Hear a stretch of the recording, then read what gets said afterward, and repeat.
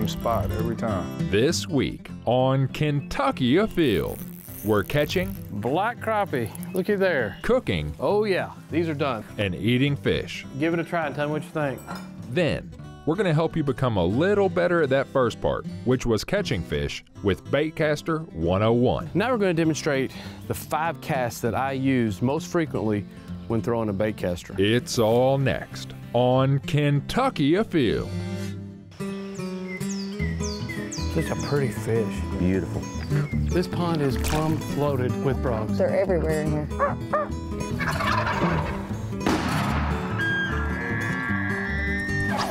Yeah, this is a good fish right here. Really good fish. Come here, girl.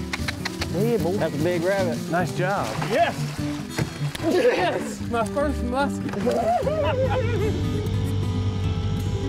Mercy Leo!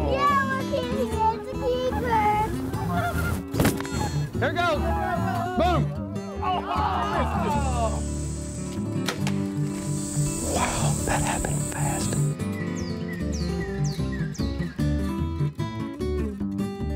Hello, and welcome to Kentucky Afield. I'm your host, Chad Miles. Join us as we journey the Commonwealth in search of outdoor adventure. As you can tell, right here turkey hunting, but that's about to wind down. And if you're interested in learning more about fishing this year, well, this show's for you.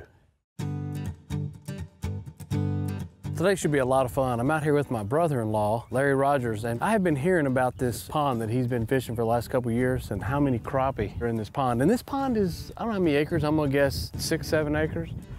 It's kind of small to have crappie in it, but you said it's got a heavy population of crappie. Very heavy population, uh, both black and white crappie. Um, last year we saw around this time of year they really started to come up to the banks, very active. You get a few bass, some big bluegills in the mix. I go out with biologists and they'll always tell people, hey, if you're in a pond this size, try not to have white crappie because they will take over. And you're starting to see a some hints of fish being stunted a little bit. Mm-hmm. A perfect way to handle that, get a rod and reel.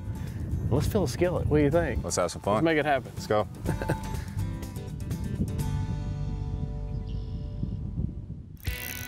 What we got here? Oh, that's a largemouth. A small one, but it's a largemouth. I don't believe uh, this one, well, first off, it's not 12 inches, and second, I don't have the heart to put a knife to a largemouth. He needs to grow up a little bit. yeah.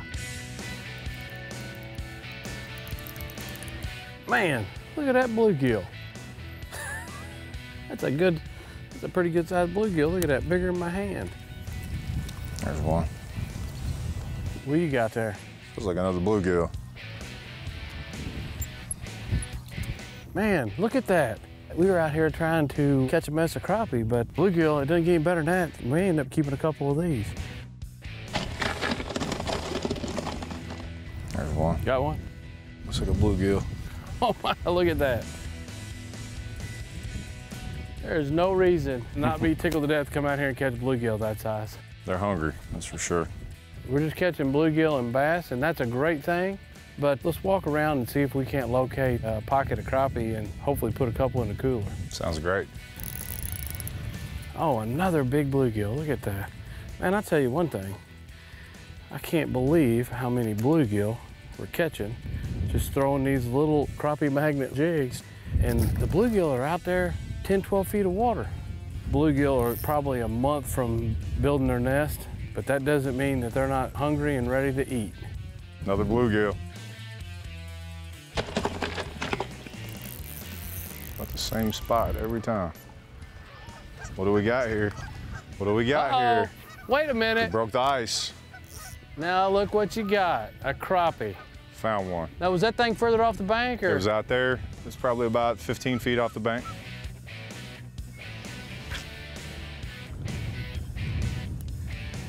There's another one. That one's a little bit nicer.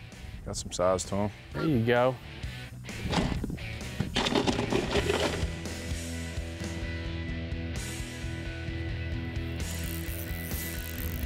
Uh-oh.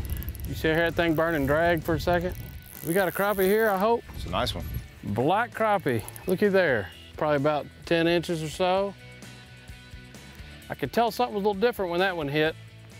That's a pretty fish. I tell you what, black crappie They're so incredibly beautiful, and when they get a little bit of thickness in that back, there's nothing better to eat than that right there. Looks like a bluegill. Nice bluegill. Daggone, Big boy. That is a big one. Uh-oh, we may have a crappie. It may be a bass. Oh, oh my gosh. Bluegill. I've been tricked by a bluegill, thinking it was a crappie because it was burning my drag.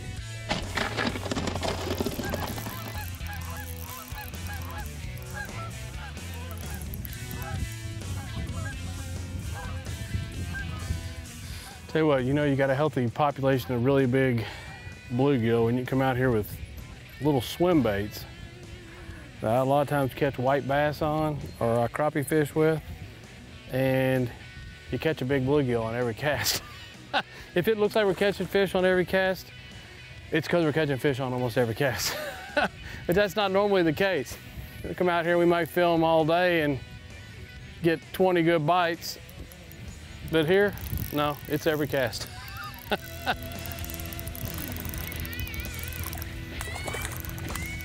like I got his little brother. You sure do. Not exactly what we're looking for, but Trick photography. Look at this beast. Oh my gosh. No, no, not really.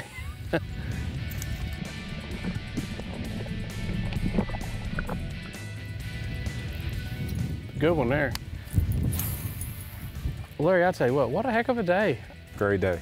I mean, I don't know how many fish we caught, but we decided after catching, I don't know how many of these and throwing them back, wait a minute, my kids have been on my case for the last year about bringing home some fish to eat, and boy, we put the hammer to them. We did. Great day out here. Good fishing. Thanks for having me. Well, spring is the time of year that I catch myself bringing home a lot of fish. My kids are always on me, Dad, bring home some fresh fish. So I've tried to find new creative ways to make dishes that are healthy that my kids will really, really like. Fish is really, really good fried. Everybody knows that, but it's a little bit of work and it can be a lot of cleanup. And obviously we'd like to have more healthy options. So what I'm gonna do today is showcase a, a dish that really can be made, prepared the whole nine yards and clean up in about 20 minutes. What we're gonna do today is gonna be just a fish dish over rice. And obviously, if you're gonna make this dish, you're gonna start out by doing your rice first because it's gonna take some time to boil this. You know, any type of white rice will work for this. I like jasmine or basmati rice because it really tends to hold the flavor of the fish. It's really mild and it holds that flavor very well. I'll be honest with you, my kids can't tell the difference and for simplicity and time, I'm going the 90 second version and we're gonna get this ready here in just a minute. But first, let's get our hands washed and get the fish seasoned and we're gonna get them on the grill. All right, first thing we're gonna do is we're going to melt some butter. So you can use any kind of butter. I actually like the, the taste of this butter that's got garlic, Parmesan, and basil in it. I mean, how can you go wrong with that on fish, right? So we're gonna take some of this and we're gonna get it in a cup and melt it in the microwave. So I'm gonna put it in this coffee mug here. That'll probably be good. I'm gonna keep that spoon because I'm gonna use it again later on. Put this in the microwave for 20 seconds and we'll get ready.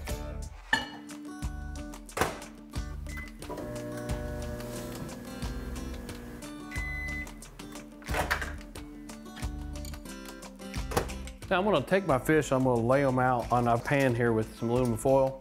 I'm gonna lay my fish out here in single layer, drizzle some of the butter over it, and I'm gonna put some seasoning on it. We're gonna keep the seasoning super simple. Probably my favorite seasoning for all types of wild game and fish is this Greek seasoning called Cavender's. It can be found about anywhere. And then of course, this little Creole Cajun shake style seasoning. Can't go wrong with a little bit of this. So these are gonna be the main two ingredients on top of the butter that already has a little bit of garlic and Parmesan and basil in it. We're gonna put these on the grill at 425 degrees, and then we're gonna put it over a bed of rice. Kids love this dish, and it keeps all the mess outside, and really, super simple. All right, so let's lay our fish out. These are all crappie and bluegill that were recently caught. I worry about them slipping through the grill or drying out a little bit, so I like to put them on aluminum foil. Now we're gonna take this butter that we've melted in the microwave, Just gonna pour a little bit of this on it. It kind of helps it keep from sticking too. And then when this is all done, I'm gonna use a little bit of this reduced butter and mix it in with the rice. It really makes it delicious. I'm gonna wash my hands one more time. I'm gonna start off good old faithful Cavender's. I'm gonna give it a pretty generous coat. All right, now I'm gonna come back with some of this Creole seasoning and do the same thing.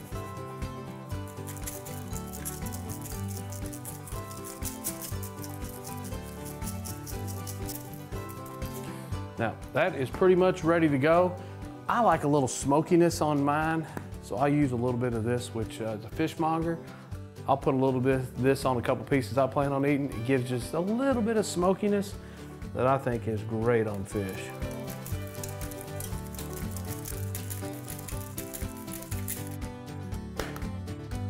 The grill's already hot. Let's keep these on the grill for eight to 10 minutes. Should be ready to go. Let's get these fillets out of this pan and I'm just gonna leave the aluminum foil right on the grill. Now's the time to go, since I'm doing ready rice, pop that in the microwave and get it ready. Come back down, everything should be set and ready to go. Literally 10 minutes from the time this hits the grill, we're eating. Well, these are pretty thin fillets. It's been about eight minutes. Let's check them out. They smell like they're getting close. Oh yeah, these are done. Let's get the heat cut off, get the fillets back on the pan, and get them up ready to serve. And there's no mess on the grill either. We've kept any frying out of the house. Kids are eating healthy. Total of 15 minute prep time. We're ready. Gonna get these bowls, put a little bit of rice on the bottom. And then from here, I'm gonna take this spoon and take just a little bit of this butter and seasoning that was on this fish, put that here on the bottom on this rice, mix it in real good. Now, put the fish on. All right, let's get the kids. All right, you guys ready? Yes. I don't have any veggies right now, but give it a try and tell me what you think. Well, what do you guys think? It's good. You like it? If you're looking to gain additional cast accuracy with your rod and reel, learning how to set up your bait caster effectively may be your first step.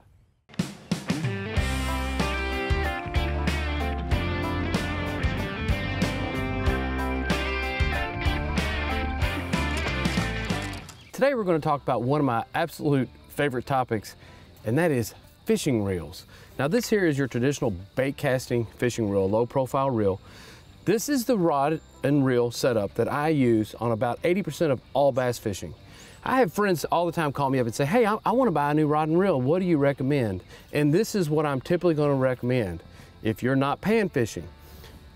A lot of my friends say, hey, I only throw a spinning reel. And every time I've ever tried to throw a bait caster, I've had nothing but problems. What I'm telling you is if you match your rod, your reel, your line, and your lure weight, and they all match, these can be highly, highly efficient tools. And you get way more control out of throwing a bait caster than you can ever get out of throwing a spinning reel. I'm going to demonstrate a little bit of that later. But first off, if you're just getting into bass fishing or you've been bass fishing and you don't use a bait caster and you're thinking about picking one up, I would go with a six foot six medium to medium heavy rod, and I'd, I'd err to the lighter end of that, and make sure that when you read the rod, it will tell you what weight lure and what weight line to throw on it.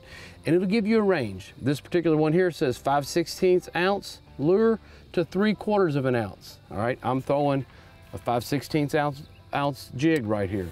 It will also tell you the pound test. This says 14 to 20 pound test. On a medium weight rod, this is medium heavy, you're gonna get somewhere between eight to 16 pound. Throw the lightest line that you can to learn how to cast one of these. You'll get more distance and they're easier to throw.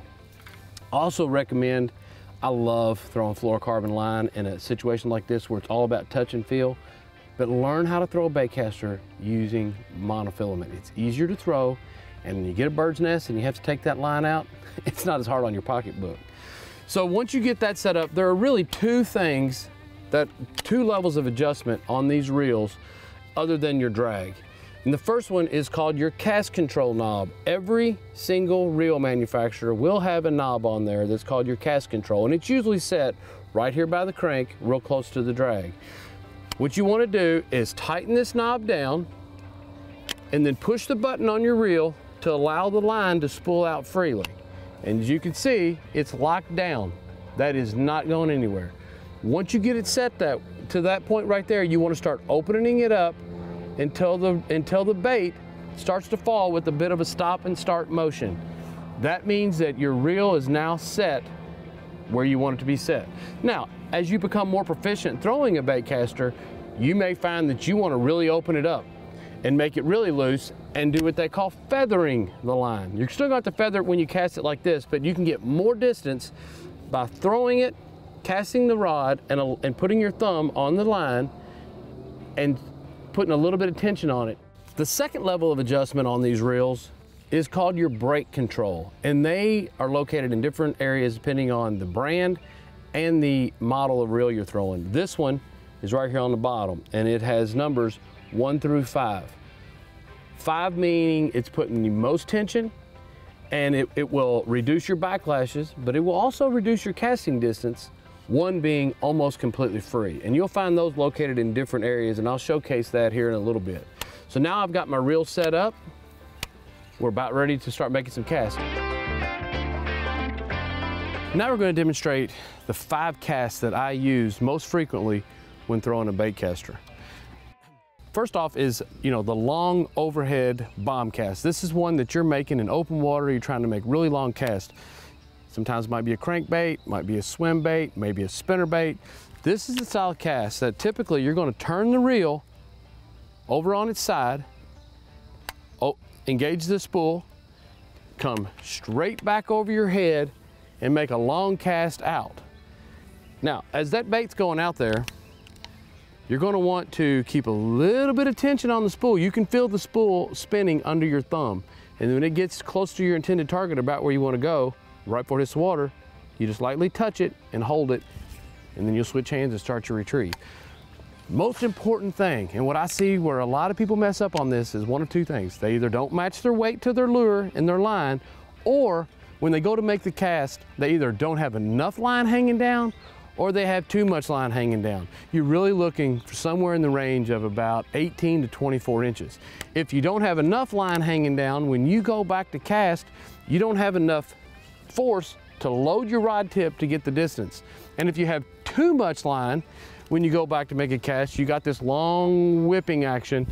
You want that, you want that bait going as fast as it can, pulling line from the spool and not making a big loop. This is about the distance that you're looking for right here. The biggest mistake I see is where people try to cast too close or too far away. This is also, if you're fishing out of a boat, a really good cast to, to know because if you're fishing two or three people side by side, you're always casting straight behind you and straight out. You don't have to worry about hooking someone. Now let's talk about the next cast. The next cast is a sidearm cast. A sidearm cast, you'll see people a lot of times use it off the front of the boat, or if they're just fishing two people, you'll see them make this style of a cast. Kind of come through the side and throw that lure right on out there. On this one, you're, you're, usually your spool is facing straight up and down as opposed to the, to the overhead cast where you tilt it to the side. But other than that, the distance that you're letting the lure hang down is still really important. This is the kind of cast you're just gonna kind of sidearm rip it out there. Exact same thing, I'm feathering it, touching it right when I want it, when I want it to stop to keep from any, any overrun. If I get out in a situation where I'm fishing down a bank and I'm, I'm making somewhere in the neighborhood of 25 yard cast, 30 yard cast. This is the cast that I will use quite often at that point in time. Not quite the distance that I'm getting with the overhead cast, but still really effective cast. For our next cast, I'm gonna move to the other side of the boat, and this is a cast I use quite often if I'm casting over the front side of the boat, or if you're fishing from the bank. If you have some trees that are hanging down, this is a really good cast, and I call this my underhand roll cast. And this is a cast where you take the rod and you make a loop and you cast it almost on the plane of the water and you cast it out. This is also the cast that I use when I go to docks and I want to skip a bait. This takes a little bit of practice and you got to get your control just right. It's not a way to start, but if you want to roll a cast out there, right on the water level and you can literally get the bait to skip right up under a dock. Great technique on sunny days for catching largemouth bass. But this underhand roll cast can be really, really effective. And it's also a way on a really windy day to keep the bait low to the water and make accurate casts. If I'm throwing a spinner bait on a windy day, a lot of times this is what I'm throwing. An underhand roll cast is very similar. It starts out like an over the head cast, but you literally roll the bait under and you throw it right to your intended target. Let me demonstrate.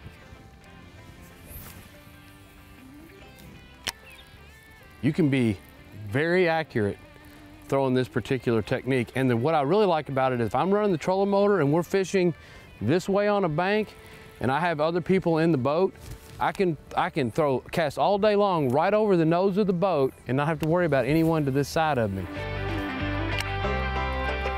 Flipping and pitching is a technique that you're going to use to fish very accurately. You want to cast right into a piece of structure in shallow water and not make a big splash. The first technique is what I use for a little bit longer distance and it's the technique I use the most and it's called pitching. Now with pitching, the lure typically starts in your hand and you will literally bend the rod tip a little bit, load it up, and then essentially from there it's an underhand roll cast. Underhand roll it right to your target, feathering your bait, throw it harder than it than you need to get to get the bait there, and then you stop it once you're close. I'll show you how to do this.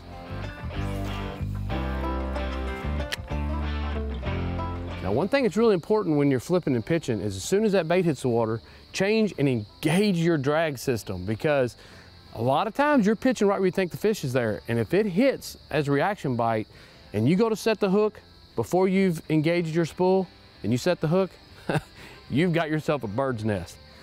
The last cast I want to show is for the absolute closest, most precise cast, and this is called flipping.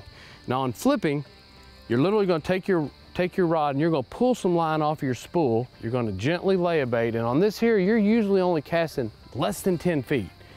So I'm taking this here and I'm going to gently lay it out there, and then I'm going to engage my spool and I'm going to work a very specific spot. Maybe it's a stump, maybe it's a stick up. If you are still not convinced that a bait caster is right for you, or you've tried one before and you've not had good results, there is some technology out here that you might want to know about. And this is called DC for digital control. Now, this has a bunch of magnets in there, like all the, all the reels do, but what these magnets do is they almost act like an anti-lock braking system on your car. If the spool goes too free, which essentially allows you to get the overrun, this thing will slow it down and will allow you, once you set the, the reel up like we've done all the others, and we want to add, add the brake, hit the button, let the slow fall, tune this thing back to around one or two, you can start making cast. You don't even have to touch the spool. I know that sounds crazy. I'm gonna demonstrate a cast. I'm gonna throw a 40 yard cast. I'm not gonna touch the spool in flight, and I'm not gonna touch the spool when it hits the water. And watch this.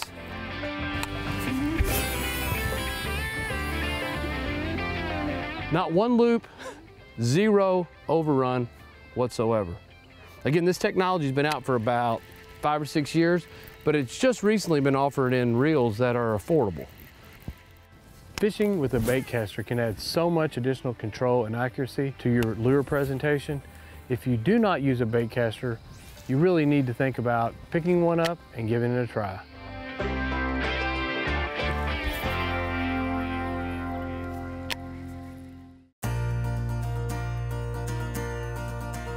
Now let's check in and see who else has been out having fun in this week's Ones That Didn't Get Away. Check out this beautiful photo of a father and son double in the opening day of the turkey season in LaRue County. Here we have Warner Bryan and his dad, Joe. Congratulations. Here we have 11-year-old Hudson Kersey who got his very first turkey on the opening day in Henryville, Indiana. Nice job. Baron Bradshaw of Burgin, Kentucky caught this nice bass while fishing at Cedar Creek. He was fishing a minnow under a bobber. Nice job. Check out this nice limit of white bass that was caught at Bacon Creek on Nolin Lake. These were caught by Kevin Large and Charlie Gibbs of E-Town and Lewis Graham of White Mills, Kentucky. Here we have a beautiful picture of a really nice buck taken by eight-year-old Peyton Elizabeth Benham. This deer was taken in Meade County, Kentucky, and it's her first big buck. Congratulations. Here we have Larry Bacon with a really nice black crappie that was caught at his friend's farm pond. Nice fish.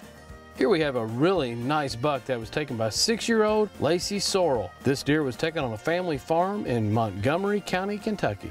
Check out this beautiful big tom that was taken by J.R. Moore while hunting in eastern Kentucky. Just a friendly reminder, if you're a boat owner, your boat registration expires soon. And remember, hunting and fishing on private property is a privilege. Always ask permission and thank the landowner. Until next week, I'm your host, Chad Miles, and I hope to see you in the woods or on the water.